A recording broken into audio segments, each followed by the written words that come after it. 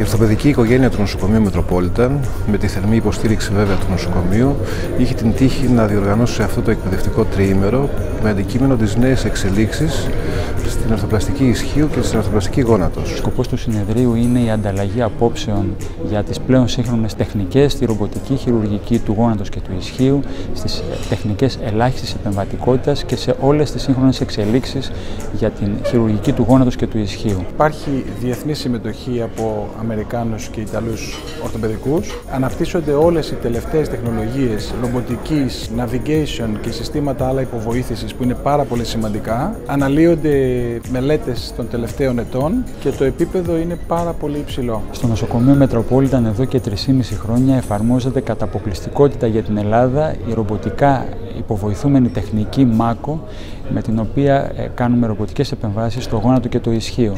Μεγάλο μέρος του συνεδρίου αφορά την τεχνική αυτή, καθώς και τεχνικές ελάχιστες επεμβατικότητας για τα γόνατα. Είχαμε λοιπόν την τύχη να εκτιμήσουμε τα αποτελέσματα της προσπάθειας των τελευταίων ετών, να χρησιμοποιήσουμε νέες τεχνολογίες, νέες απόψεις με τη χρήση ρομποτικής τεχνολογίας, ρομποτικά υποβοηθούμενων επεμβάσεων, καθώς επίσης και επεμβάσεων ελαχίστης παρεμβατικότητας που ε, έχει πολύ μεγάλο όφελο στους ασθενείς λόγω του καλύτερου λειτουργικού αποτελέσματος και βέβαια της ταχύτερης αποκατάστασης. Οι νεότεροι συνάδελφοι ενημερώνονται για τις νεότερες τεχνικές όπως είναι το ρομπότ και την υποβοήθηση με navigation και από ό,τι φαίνεται αυτό περνάει στην ε, καθημερινή τους πρακτική και στην ε, στη βελτίωση της ορθοπαιδικής σε κάθε νοσοκομείο. Η οστεοαρθρίτιδα του ισχύου και του γόνατος αποτελεί ένα μέγιστο πρόβλημα στις σύγχρονες κοινωνίες. Υπολογίζεται ότι στον ανεπτυγμένο κόσμο ένας στους πέντε ασθενείς έως το 2030 θα νοσήσει από οστεοαρθρίτιδα στο γόνατο ή στο ισχύο.